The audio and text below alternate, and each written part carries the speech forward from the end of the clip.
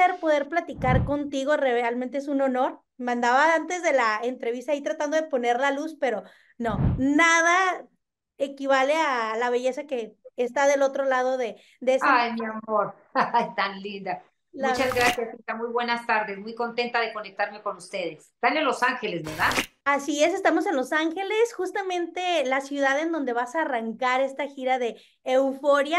Y bueno, una, un aviso aquí para las personas que nos están viendo que todavía no tienen regalo de San Valentín, pues aquí les tenemos una excelente opción para su pareja, amigos, para quienes quieran. Yuri justamente viene al YouTube Theater el 16 de febrero.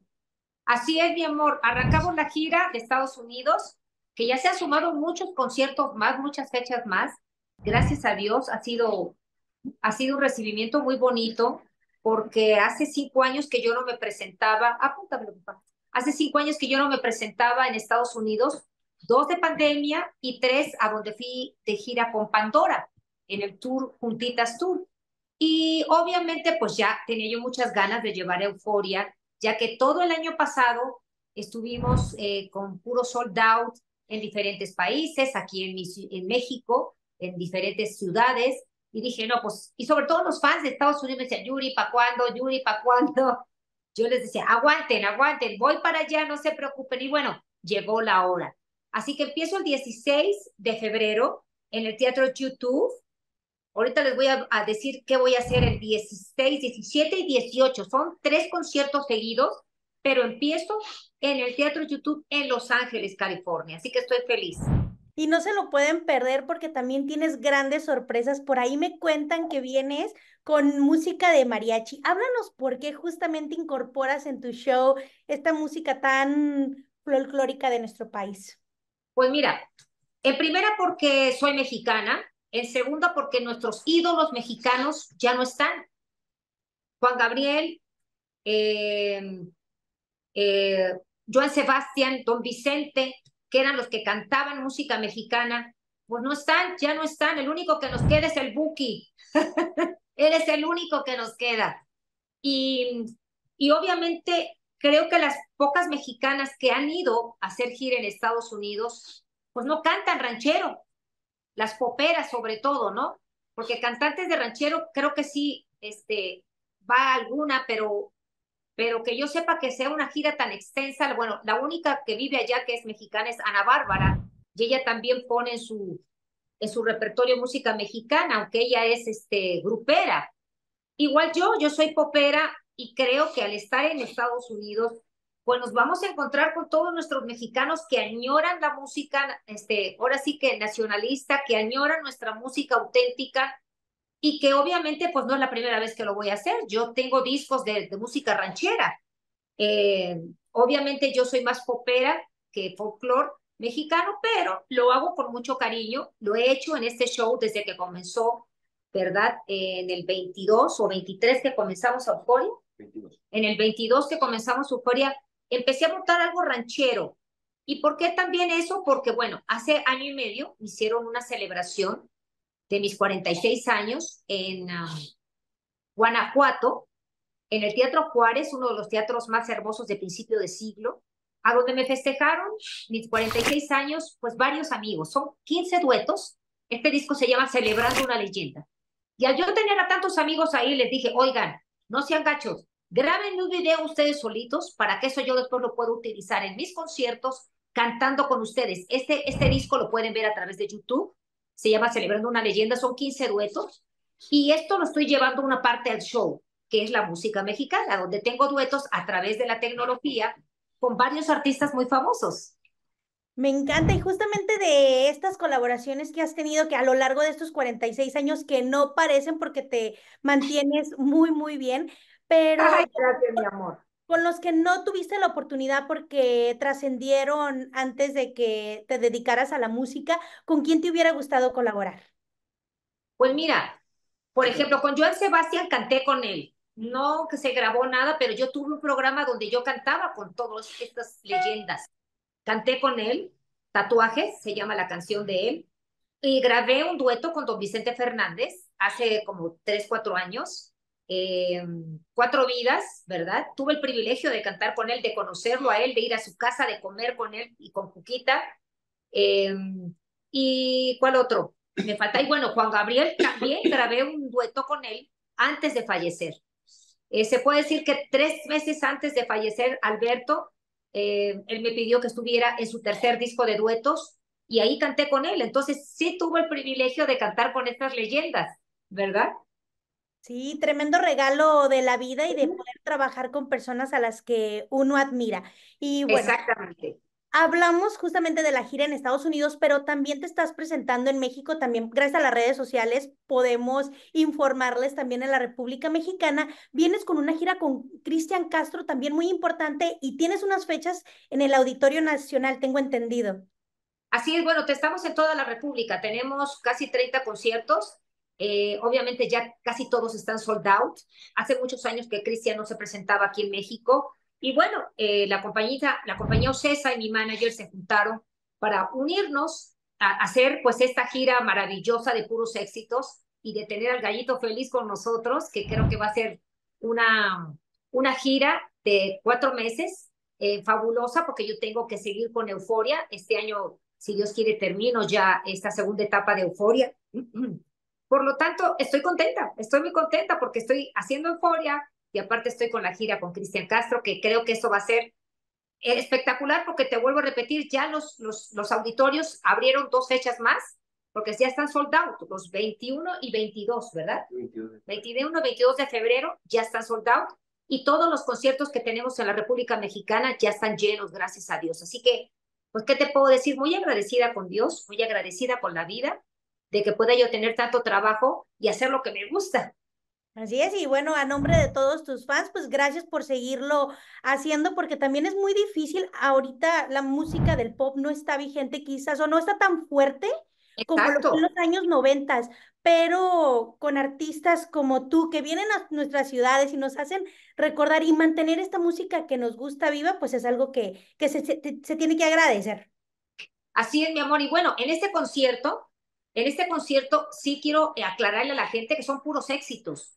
Eh, no crean que es un show a donde Yuri sale con su vestidito largo y canta dos, tres canciones. O no, es un show tipo Las Vegas, tipo Las Vegas. Realmente estoy muy contenta porque diseñadores importantes que han vestido a Beyoncé, que han vestido a Lady Gaga, que han vestido a Rihanna, eh, están involucrados dentro de este concierto porque me metí a buscar a todos esos diseñadores y a ver si me pelaban, como decimos en México, ¿verdad?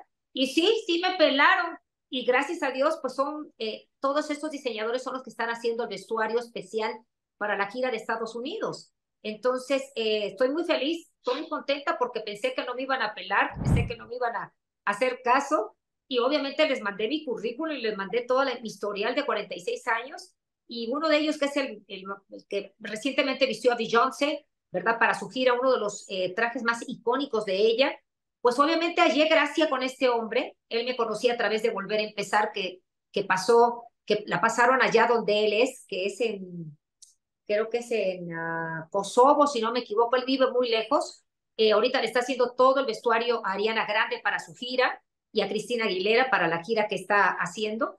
Entonces, hallé gracia con este hombre, me conoció a través de Volver a Empezar, que pasaba esta novela allá, y dijo, nunca pensé que te vistiera yo a ti, y es el como que dice eh, la artista, la primera mexicana que él viste, eh, o la primera latina que hace vestuario para toda una gira, porque él había colaborado con artistas como Thalía y, y no sé quién más, pero no había vestido a, a, a, a, toda una gira. Entonces, obviamente, pues me siento contenta porque es un show espectacular. Voy con mis bailarines, voy con mis músicos en vivo, eh, unos videos, unos visuales que acabamos de hacer hace tres, cuatro días para esta gira especialmente. Así que es un show de hora, hora 50, hora 40 y obviamente viene esta estampa mexicana y todos mis éxitos, desde La Maldita Primavera, Este Más Que Yo, este, Amiga Mía, Yo Te Pido Amor, ¿Qué Te Pasa el Apagón? Hombres al Borde, y de ahí para abajo todas las que ustedes ya conocen. Así que no se lo pueden perder, los tickets ya están a la venta. Eh, obviamente el, el 16, es, vuelvo a repetir, estoy en Los Ángeles en YouTube, el 17 de febrero estoy en Riverside, en el Teatro Fox, para toda la gente de Riverside, toda la gente latina y los mexicanos que están ahí. Y el 18 de febrero estoy en San Diego, en el Teatro Balboa. En San Diego, en el Teatro Balboa, para que vean este espectáculo que vamos con todos los fierros y que vamos con todo este vestuario espectacular. Sí, es bueno, pues estamos emocionados ya preparando la garganta para cantar todos estos grandes éxitos, esperar tremenda producción y también sentir, ya al escuchar la música de mariachi, esa conexión con, con nuestro México lindo y querido. Y bueno, en cuestión de música, ¿tienes planes de una producción, música nueva para tus fans? ¿Qué viene? Sí, estoy en ahorita, ahorita tú sabes que la música regional mexicana está con todo. Hasta los reggaetoneros están cantando regional mexicano. Por lo tanto, yo no me, quería, no me podía quedar atrás. Después de hacer el, el dueto con el grupo Firme, obviamente mi compañía disquera dijo, oye, vamos a seguir haciendo música regional mexicana. Entonces tengo cuatro colaboraciones. Eh, una la voy a guardar porque es sorpresa.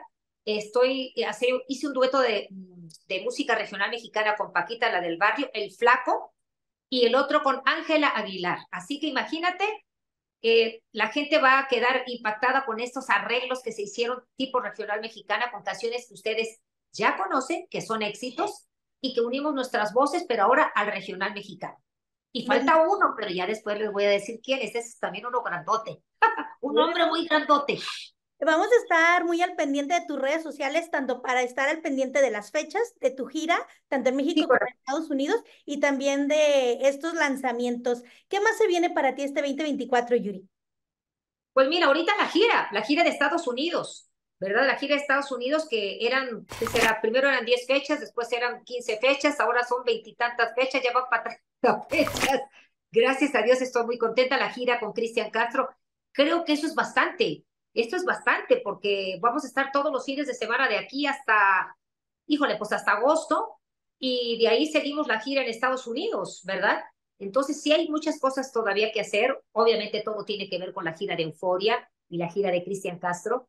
Ahorita la gira de Cristian Castro no estará en Estados Unidos, solamente es Euforia.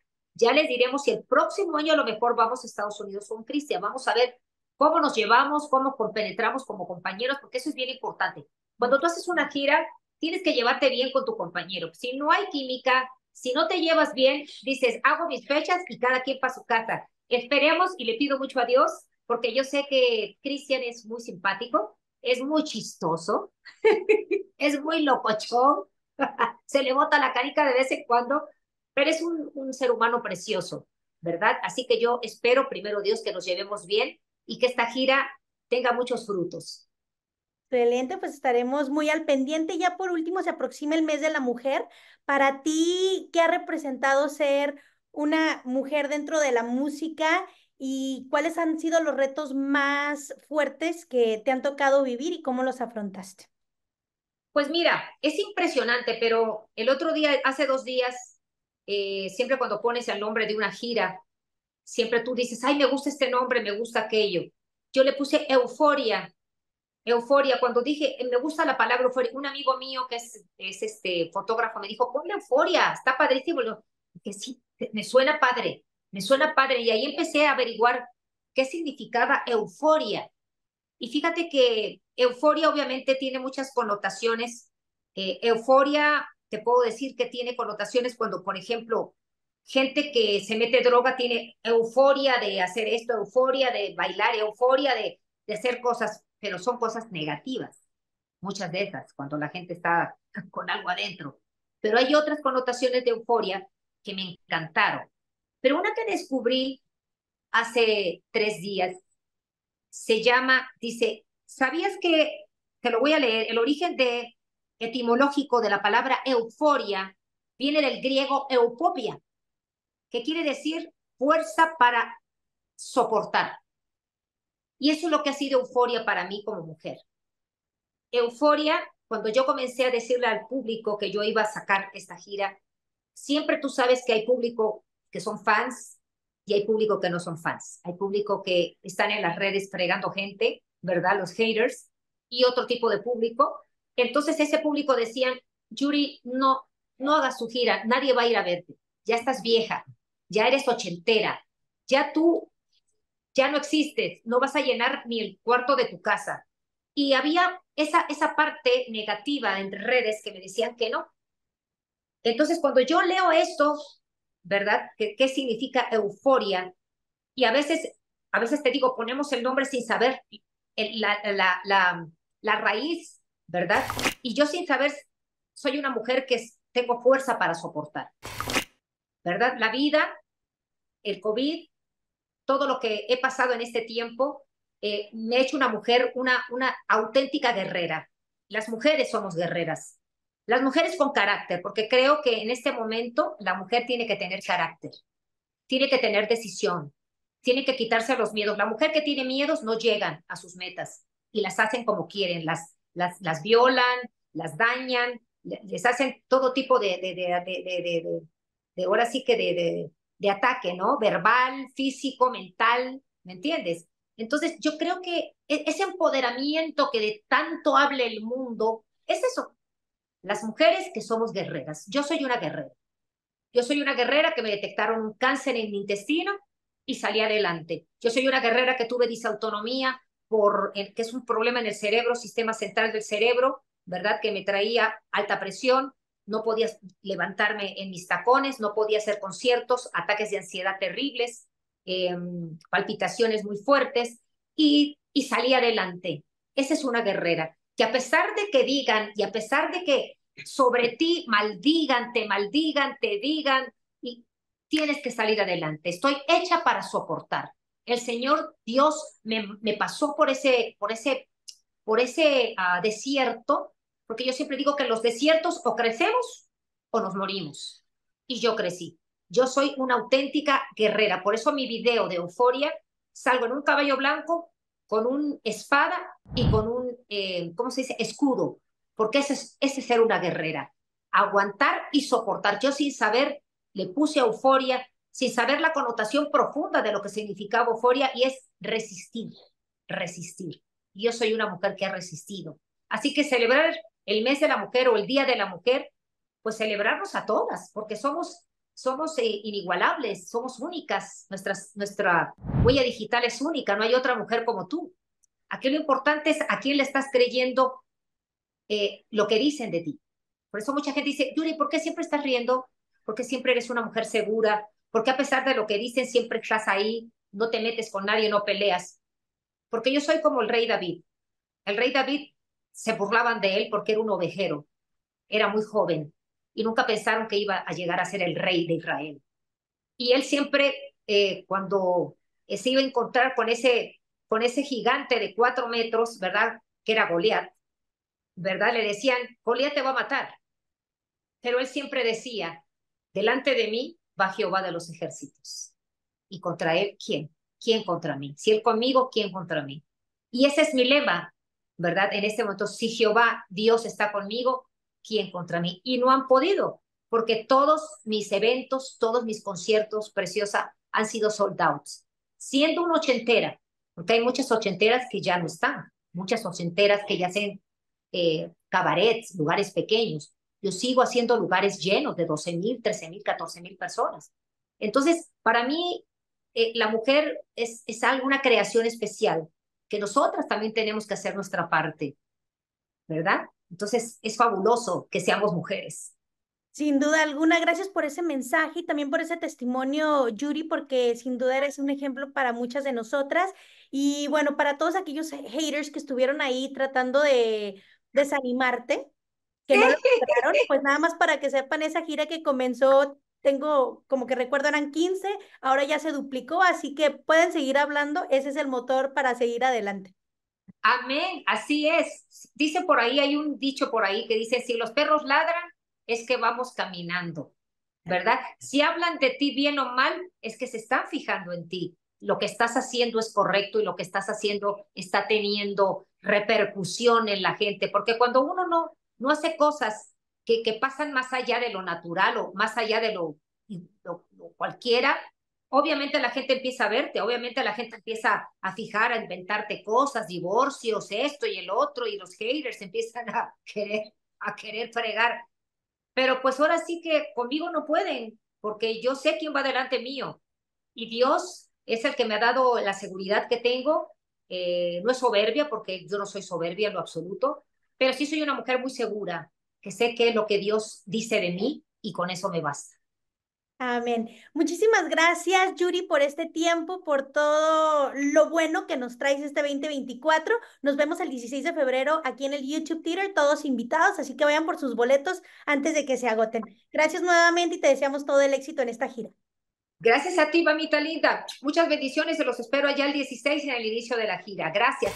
A través de mis redes sociales, arroba oficial Yuri, pueden ver qué es euforia, porque hay muchos videos de los shows que he tenido eh, México y fuera de México y todo lo que estamos haciendo para la gira, para que la gente se vaya empapando de toda esta emoción que tenemos todo, tanto yo como mi equipo, de todo lo que vamos a llevar a Estados Unidos. Así que muchas gracias. Un beso muy cariñoso.